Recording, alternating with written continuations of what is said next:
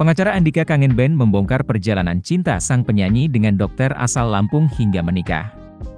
Seperti diketahui, Andika Kangen Band baru saja melepas status dudanya pada Rabu, 31 Januari 2024, lalu. Penyanyi Andikan Kangen Band menikahi dokter asal Lampung bernama Ayu Kartika Agustina dengan mahar emas seberat 100 gram. Dikutip dari YouTube Cumi Cumi, Jumat, 2 Februari 2024, kuasa hukum Andika Kangen Band, Mario Andreansyah membeberkan perjalanan cinta sang vokalis. Menurut Mario Andreansyah, Andika Mahesa dan Ayu Kartika sudah lama saling mengenal satu sama lain. Mario Andreansyah pun membantah acara pernikahan antara Andika dan Ayu pun digelar secara mendadak. Pernikahan pelantun lagu Terbang Bersamaku itu digelar di Lampung.